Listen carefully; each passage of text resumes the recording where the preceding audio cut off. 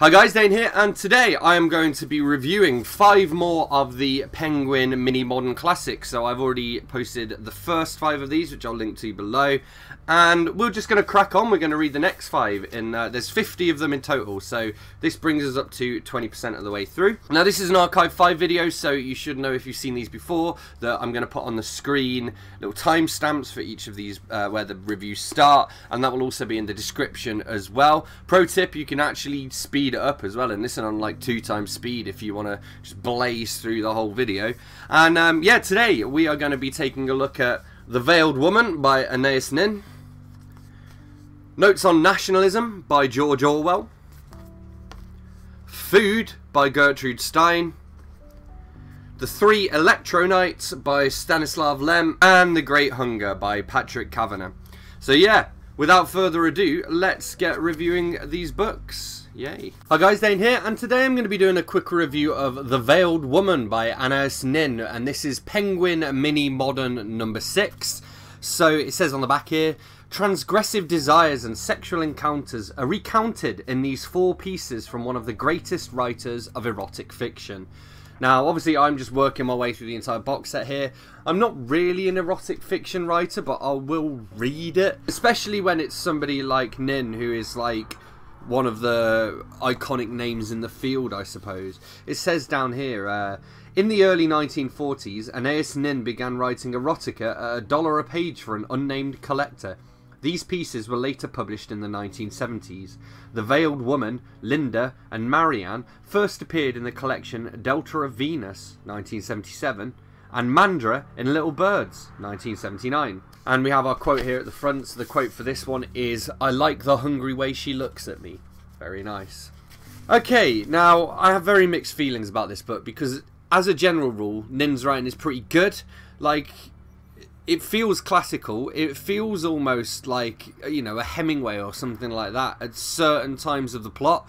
The problem is, is that it's erotica and there are just certain words that you shouldn't use and uh, the one that really bugs me or one of the ones that really bugs me is his sex or her sex to refer to genitals and she used this constantly throughout to the point at which uh, I just could not get involved in the stories. So I'm going to read you part of this one from The Veiled Woman, which I actually feel as though I've heard the plot of this before.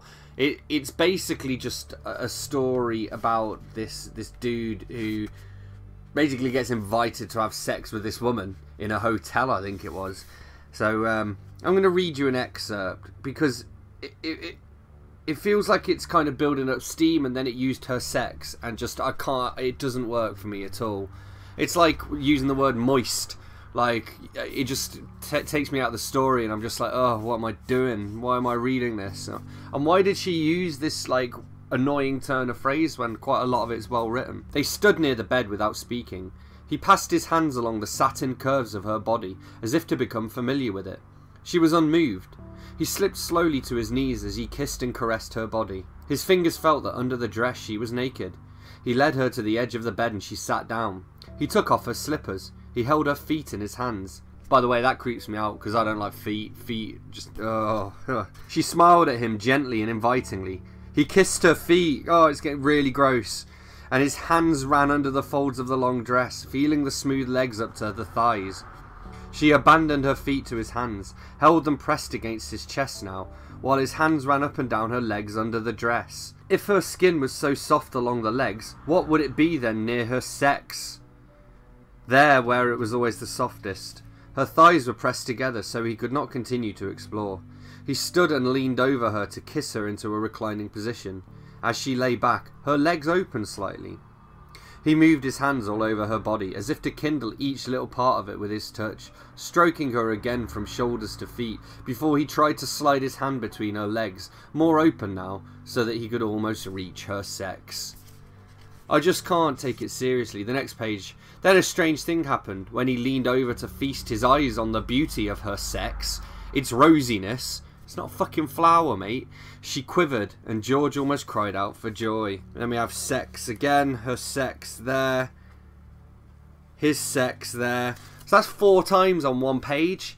And I'm just like, not only is this one of just the worst ways to describe genitalia, it just is repeated over and over again. Like all four stories in this are basically just the same of somebody running their hand over somebody else's body parts or whatever. The twist at the end of this was the woman he'd gone to have sex with or whatever.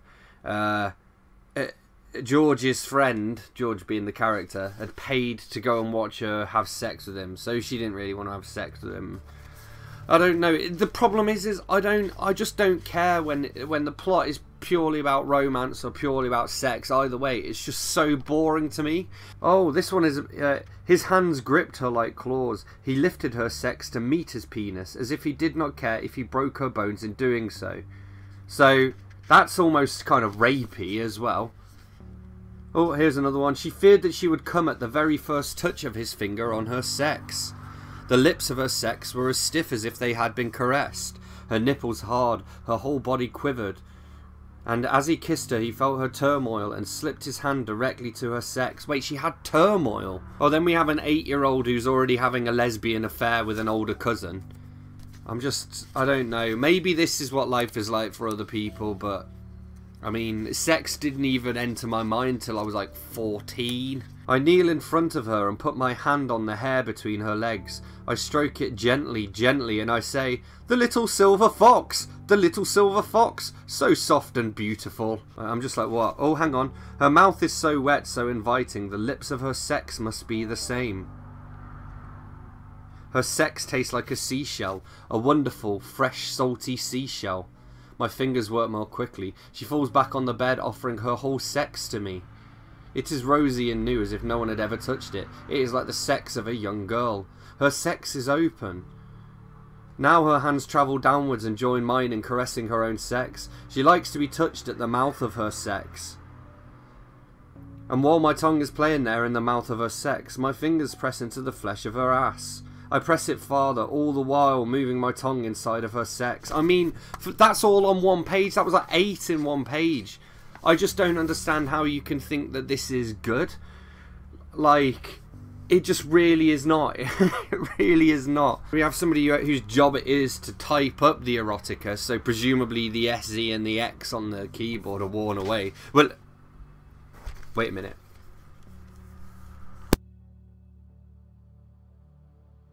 Now, don't get me wrong.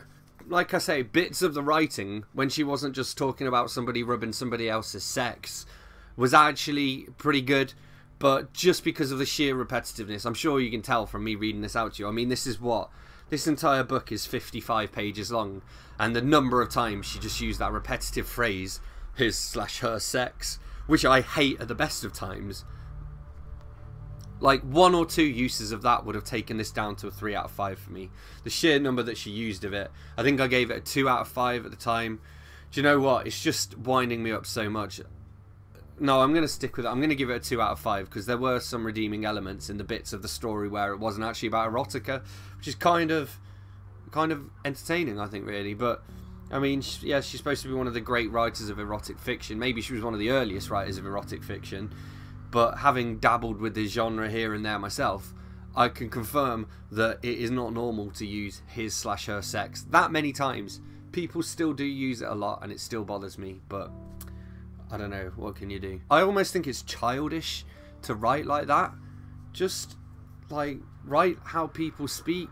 Well, anyway, that's what I thought of The Veiled Woman by Anais Nin, so don't forget to let me know in the comments if you've read this, and if not, whether you're going to be picking it up, I guess, if you have a his slash her sex fetish.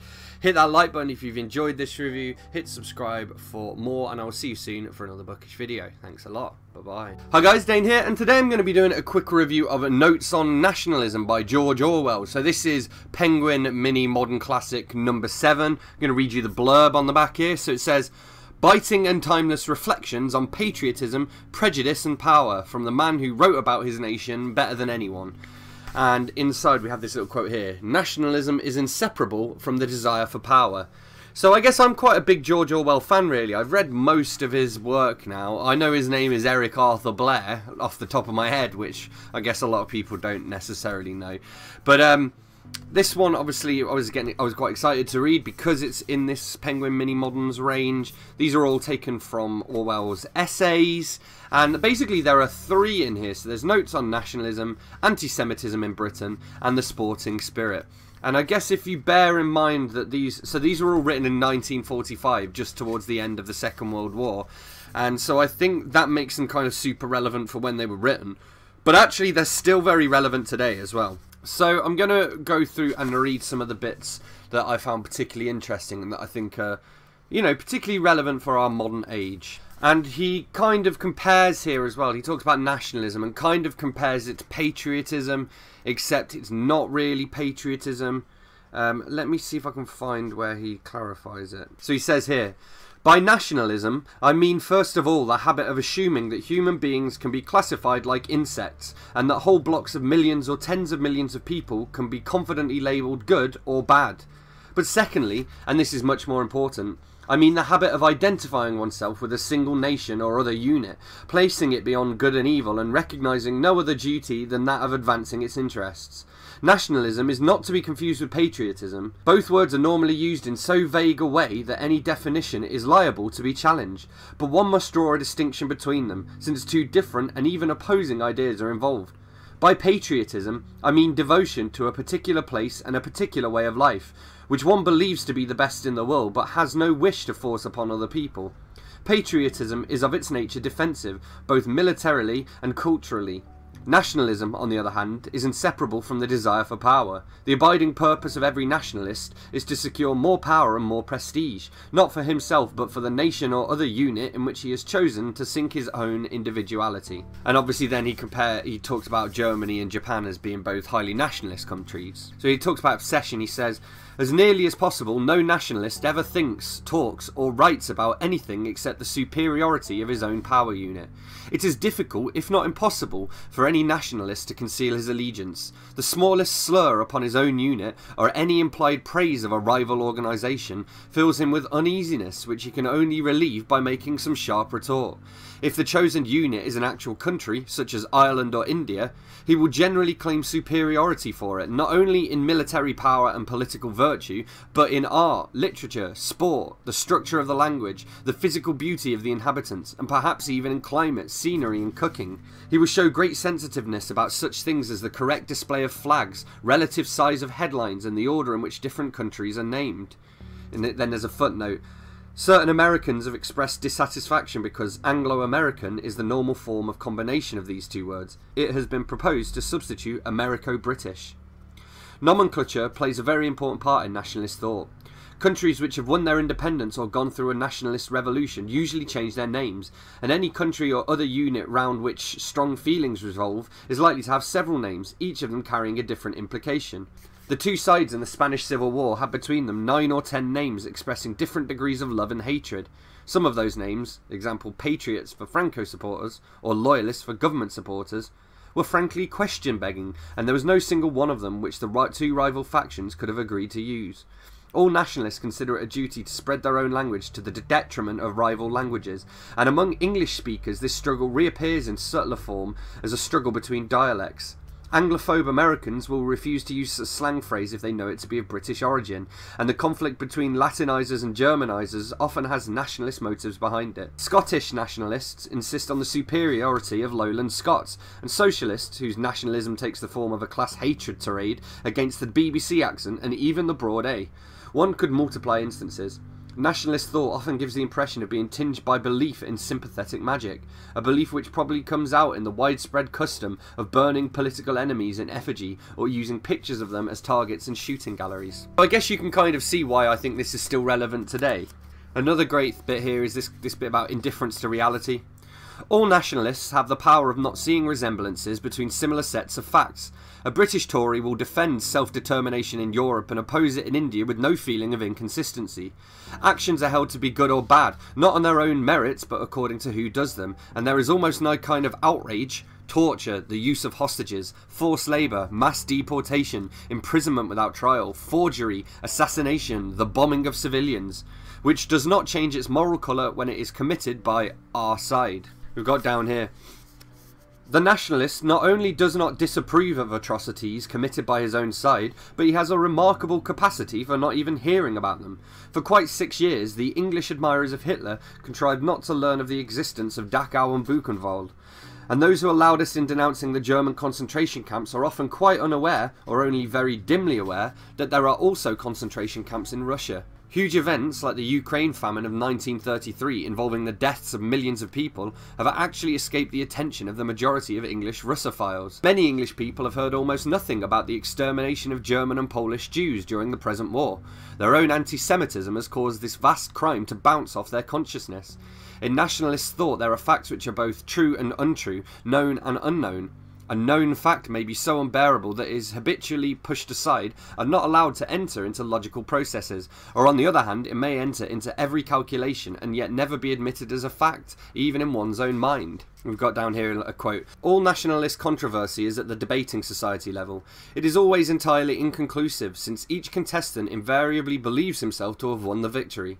Some nationalists are not far from schizophrenia, living quite happily amid dreams of power and conquest which have no connection with the physical world. We've got here he lists five types of nationalist. Uh, and it says, I list below five types of nationalists, and against each I append a fact which it is impossible for that type of nationalist to accept, even in his secret thoughts. So, British Tory. Britain will come out of this war with reduced power and prestige. Communist. If she had not been aided by Britain and America, Russia would have been defeated by Germany. Irish nationalist. Eire can only remain independent because of British protection. Trotskyist. The Stalin regime is accepted by the Russian masses. Pacifist. Those who abjure violence can only do so because others are committing violence on their behalf.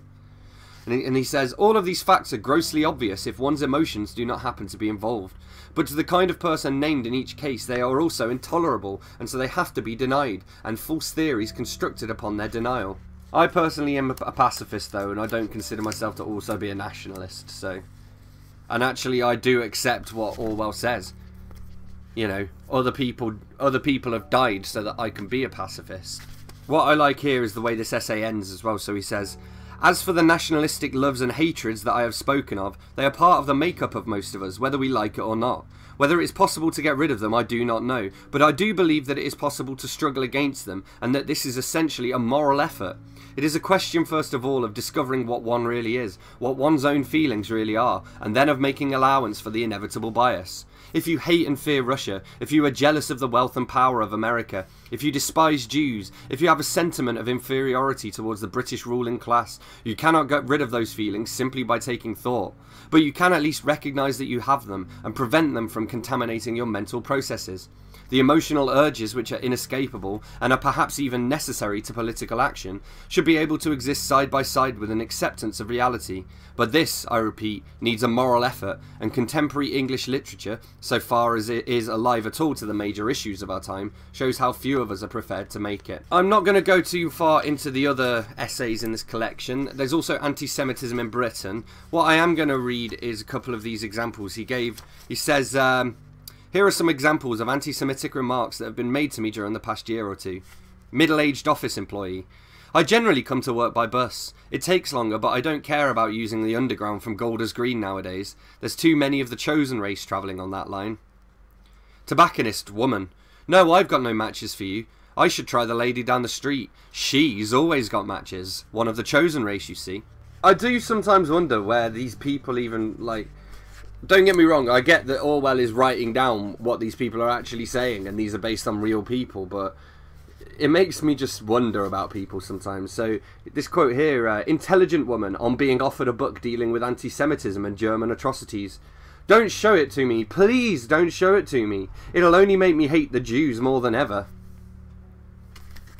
And the crazy thing is, is that people like that really did exist, and even crazier, they still fricking do as well crazy madness, crazy crazingtons. And then anyway, and then the final essay in this is one called The Sporting Spirit.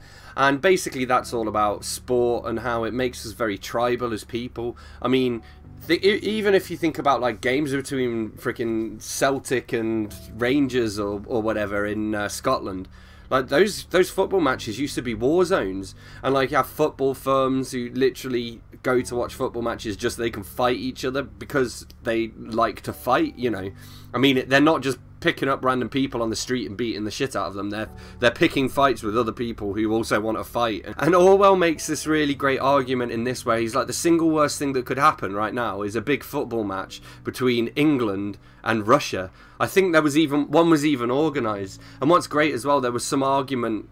I think that was it. The, the, this Russian team so it wasn't the national team, but this Russian team came over and played like Arsenal or whatever. And there was this argument because the Russians were trying to say they were playing an all English team, and the English were saying, no, you're just playing a team from the English league because it's Arsenal, of course. They've got foreigners playing for them, even though it was 1945 at the time. So he does make this great point. He's like, when there's really unstable political situations, the last thing you want, like in the world right now, for example, there's a bit of tension between Russia and the UK because because of the uh, former Russian spy who was poisoned, who was probably poisoned by ISIS. When you've got tension between the UK and Russia, the last thing you want is the English national team playing the Russian national team in Moscow or whatever.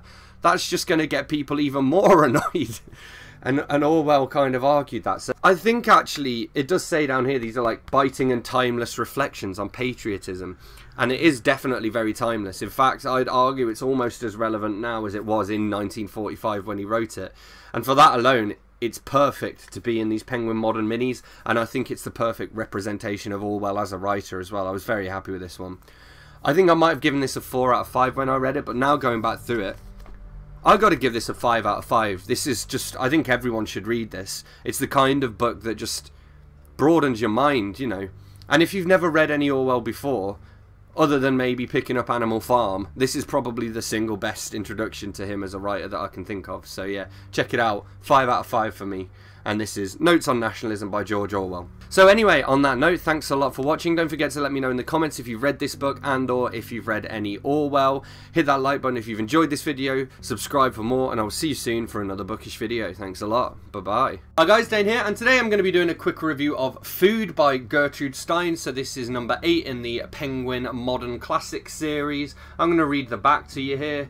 From apples to artichokes, these glittering, fragmented, painterly portraits of food by the avant-garde pioneer Gertrude Stein are redolent of sex, laughter, and the joy of everyday life. Now, straight away, what I'm going to say about this is I've looked at the other reviews that people have posted on online and uh, on, on Goodreads and on Amazon, and basically it seems as though a lot of the reviews are from people who've picked this book up without knowing anything about Gertrude Stein going into it. So as it says on the back, Gertrude Stein is an avant-garde writer. People on the uh, in their reviews kind of said, "Oh, it reminded me of you know some college student writing something and being super pretentious and thinking they're really arty, but really it's just nonsense."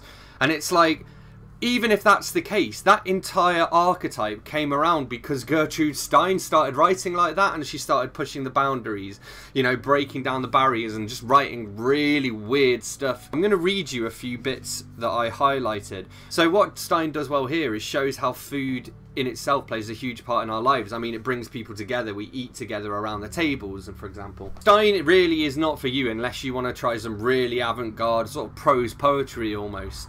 And I mean, it's one of those things where I kind of quite like dipping in and out of her work. I wouldn't want to read loads of it. This is actually the perfect size, if you ask me. I'm going to read you. Uh, let's read this. This, I guess, is the contents page. Okay, well, this is the contents page, and it actually reads like one of her poems. So, roast beef, mutton, breakfast, sugar, cranberries, milk, eggs, apple, tails, lunch, cups, rhubarb, single fish, cake, custard, potatoes, asparagus, butter, end of summer, sausages, celery, veal, vegetable, cooking, chicken, pastry, cream, cucumber, dinner, dining, eating, salad, sauce, salmon, orange, cocoa and clear soup and oranges and oatmeal, salad dressing and an artichoke, a centre in a table.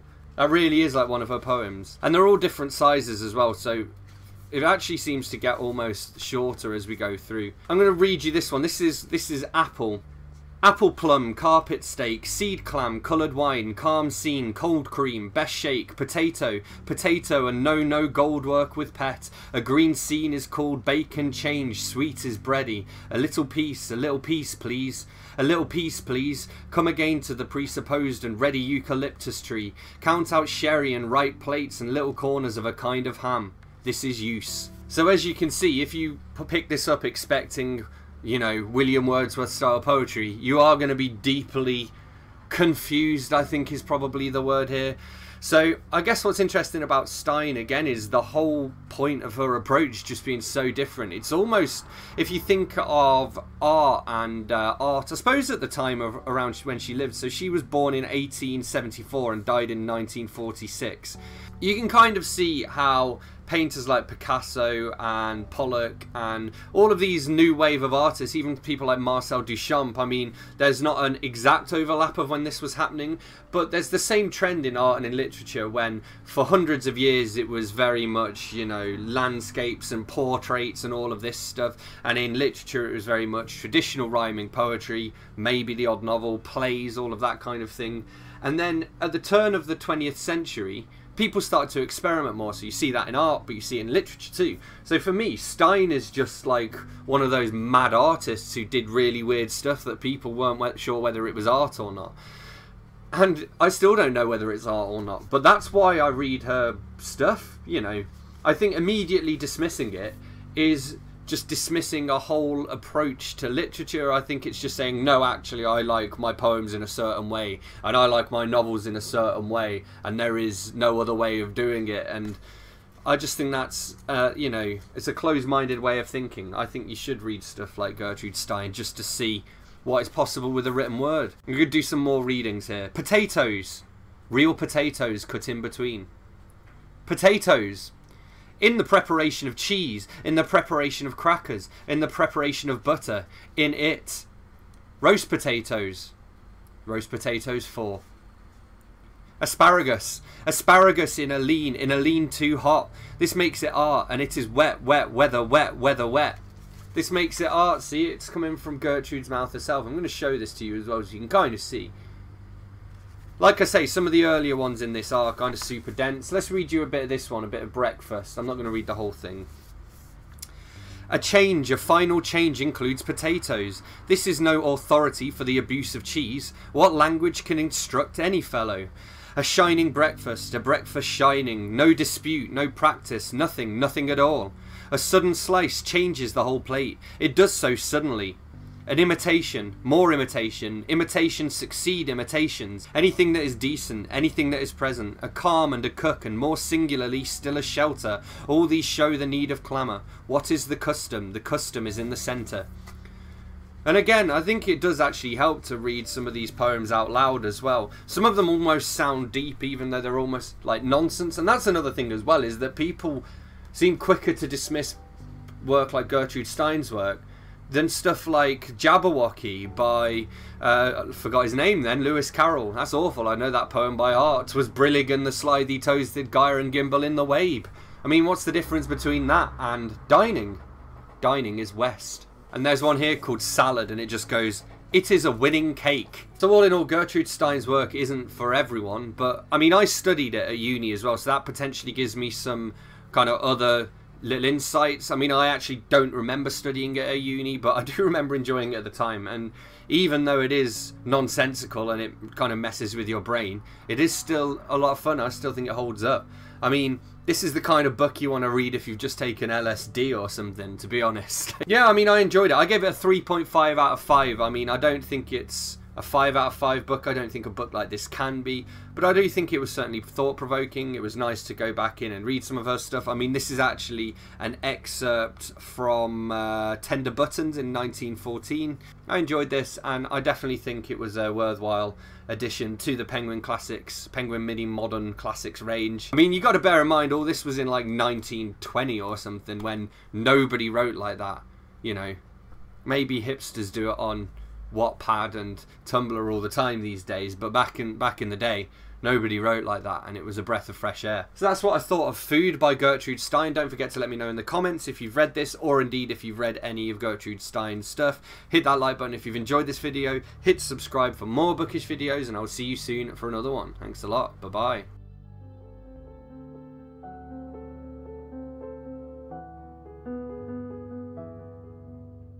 Hi guys, Dane here, and today I'm going to be doing a quick review of The Three Electro-Knights by Stanislaw Lem. Now, this is Penguin Mini Modern number 9. I'm going to read you the blurb here, as usual. So, From a giant of 20th century science fiction, these four miniature space epics feature crazy inventors, surreal worlds, robot kings, and madcap machines. And we have in the front here, our quote is, What use to a being that lives beneath the sun are jewels of gas and silver stars of ice? So it says here, stories taken from Mortal Engines, and our stories in this edition are the Three Electro Knights, the titular story, the White Death, King Globares and the Sages, and the Tale of King Gnuff. Now, I'm going to give you some other little bits of info here. So, for example, Lem, he was a Polish author.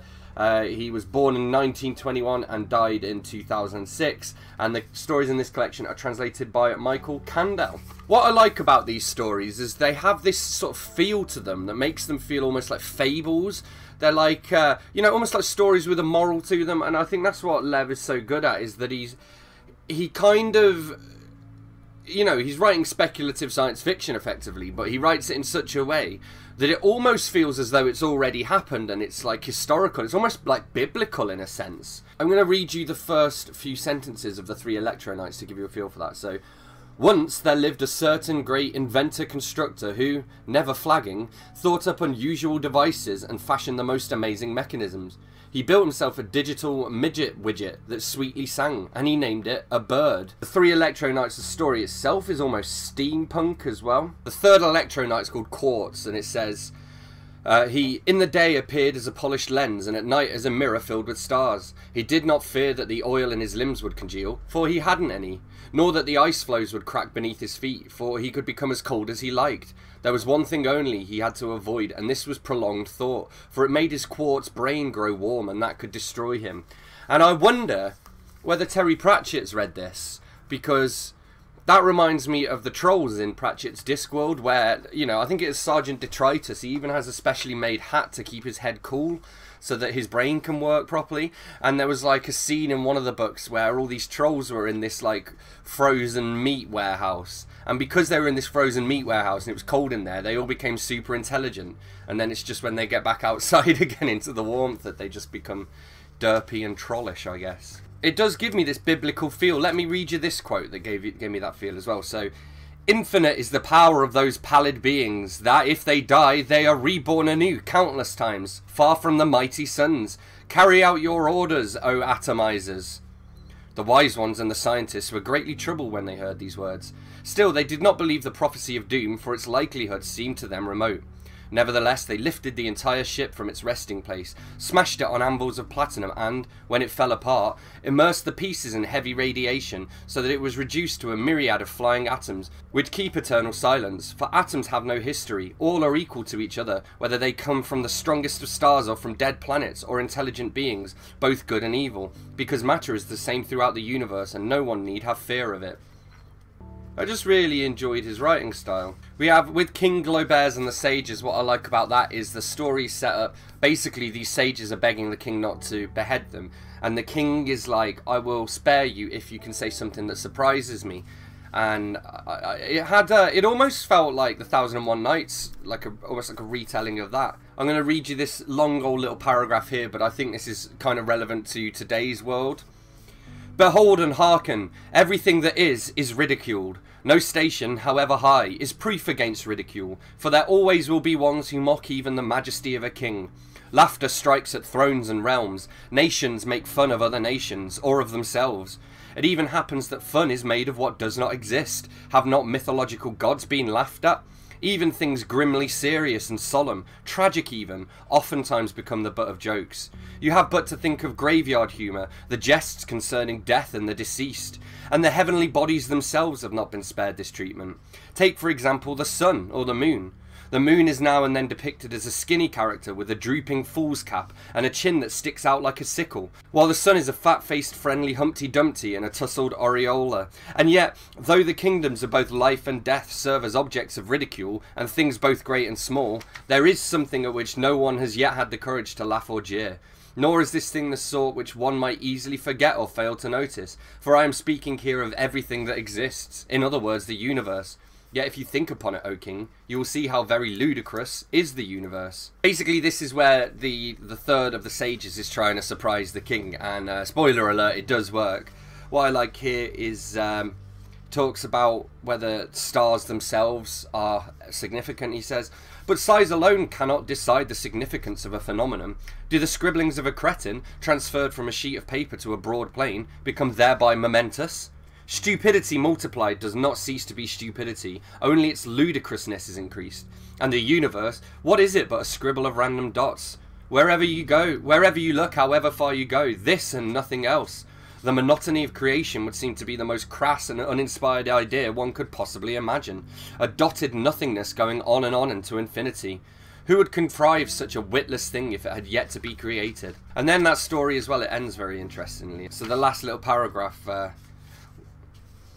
Science does not concern itself with those properties of existence to which ridiculousness belongs. Science explains the world, but only art can reconcile us to it. What do we really know about the origin of the universe? A blank so wide can be filled with myths and legends. I wished, in my mythologizing, to reach the limits of improbability, and I believe that I came close. You know this already, therefore what you really wanted to ask was if the universe is indeed ludicrous. But that question each must answer for himself. I just think there's a lot of really interesting sort of philosophical questions in here. And then this final story, the tale of King, uh, tale of King Gnuff. What's interesting about this one is that the, the premise itself is just very odd. Basically, the king decides to build this sort of extra corporeal presence. Like he he make, basically makes the palace an extension of himself, and then it gets bigger, and so then he starts taking over the city until eventually he rules over himself. Like he his physical presence is the entire sort of royal citadel and the city surrounding it. But there are no other people there. There's just him, and I thought that was quite interesting. And then uh, it ends in an interesting way as well. Basically, there's a fire, which, as you can imagine, that kind of screws you up when you know your physical presence is a city. So all in all, I really enjoyed this. I thought this was very interesting to read. I'd never read any Stanislaw Lem before, and I'm totally glad that I have. I mean, his writing, I would say, is on a par with someone like Asimov or someone like that. Uh, Karel Čapek, as well, is another great science fiction writer. I would have liked to have seen Čapek and or Asimov in this collection. I think it's almost weird to have Lem, but not Asimov. However, I still really enjoyed it. I'm definitely glad I picked this up. And if you've never read any Stanislaw Lem before, but you're a sci-fi fan, this is a no-brainer. Go out and get this. As for rating, I'm going to give this a pretty solid 4 out of 5. It could be a 4.5, but I'm trying to be, be a bit harsher with my reviews because otherwise if everything's high, it, it, makes no sense, you know. But I did genuinely enjoy reading this. This was a pleasure, and I hope you check it out. There we have it. That's what I thought of The Three Electroknights by Stanislaw Lem. Don't forget to let me know in the comments if you've read this, and if not, whether you'll be picking it up. Hit that like button if you've enjoyed this video, subscribe for more, and I will see you soon in another Bookish video. Thanks a lot. Bye-bye. Today, I am watching Jean from Bookish Thoughts. Hey um, Gene. Hi guys, Dane here, and today I'm going to be doing a quick review of The Great Hunger by Patrick Kavanagh. So this is book number 10 in the Penguin Mini Modern Classic series. I'm going to read you the blurb here. By turns tragic and comic, irascible and exalted, these are some of the best loved poems by a writer who transformed Irish verse. So I was looking him up online actually. He died in 1967, so you know he's been gone a fair old while. But despite that, I mean, th these poems are a great little bridge between sort of classic poetry and modern poetry in that you know sometimes they still use things like rhyming and traditional structures but they also investigate more kind of stuff that we would be familiar with in our modern lives. I mean who who these days has any experience of wandering lonely as a cloud you know? So in the front here where we have the little quote it says thank you sincerely for giving me my madness back or nearly so that's the kind of... I delivered that line very badly, but that's the kind of example of what his work's like. So here we go. Uh, born 1904 in Inniskeen, Ireland, died 1967 in Dublin, Ireland. And it says, This selection spans three decades of Patrick Kavanagh's writing life, from 1930 to 1959. It has been taken from collected poems, edited by Antoinette Quinn, published in Penguin Modern Classics in 2005. I'll tell you what, I might as well tell you what poems are included in this as well. So we've got Ploughman, Inniskeen Road, July Evening, Shancoduff, To the Man After the Harrow, The Great Hunger, which is obviously the title poem and it's quite a long one as well, about 30 odd pages. Consider the Grass Growing, Pegasus, In Memory of My Mother, Kerr's Ass, Innocence Epic, The Hospital, October, Come Dance with Kitty Stobling, To Hell with Common Sense, from living in the country and Canal Bank Walk. And what I'm going to do is I'm just going to read you a few excerpts. I'll get a few from The Great Hunger first. And uh, just to give you a sense of his writing style, really. Men build their heavens as they build their circles of friends. God is in the bits and pieces of every day. A kiss here and a laugh again, and sometimes tears. A pearl necklace round the neck of poverty. He sat on the railway slope and watched the evening, too beautifully perfect to use. And his three wishes were three stones, too sharp to sit on, too hard to carve. Three frozen idols of a speechless muse. A year passed, and another hurried after it, and Patrick Maguire was still six months behind life, his mother six months ahead of it, his sister straddle-legged across it, one leg in hell and the other in heaven, and between the purgatory of middle-aged virginity. She prayed for release to heaven or hell. His mother's voice grew thinner like a rust-worn knife, but it cut more venomously as it thinned. It cut him up the middle till he became more woman than man, and it cut through to his mind before the end. Another field whitened in the April air, and the harrows rattled over the seed. He gathered the loose stones off the ridges carefully, and grumbled to his men to hurry. He looked like a man who could give advice to foolish young fellows. He was forty-seven, and there was depth in his jaw, and his voice was the voice of a great cattle dealer, a man with whom the fair green gods break even. I think I ploughed that lea the proper depth. She ought to give a crop if any land gives. Drive slower with the foal mare, Joe. Joe, a young man of imagined wives, smiled to himself and answered like a slave. You needn't fear or fret. I'm taking her as easy as, as easy as, easy there, Fanny, easy, pet. Which kind of refers back to, to the island setting, I suppose. The schoolgirls passed his house laughing every morning, and sometimes they spoke to him familiarly. He had an idea. Schoolgirls of 13 would see no political intrigue in an old man's friendship. Love, the heifer waiting to be nosed by the old bull. That notion passed too. There was the danger of talk, and jails are narrower than the five sod ridge, and colder than the black hills facing Armagh in February. He sinned over the warm ashes again, and his crime the law's long arm could not serve with time. So yeah, I mean, I really like his way with words. I do think this poem is a little bit long, I'm not gonna lie.